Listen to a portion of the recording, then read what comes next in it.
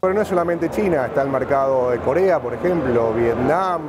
eh, la India en su momento puede ser, inclusive Japón está abierto para el sur, para la Patagonia, pero es un mercado potencial inmenso que yo creo que hay que trabajar para abrirlo lo antes posible para el resto del país. Yo creo que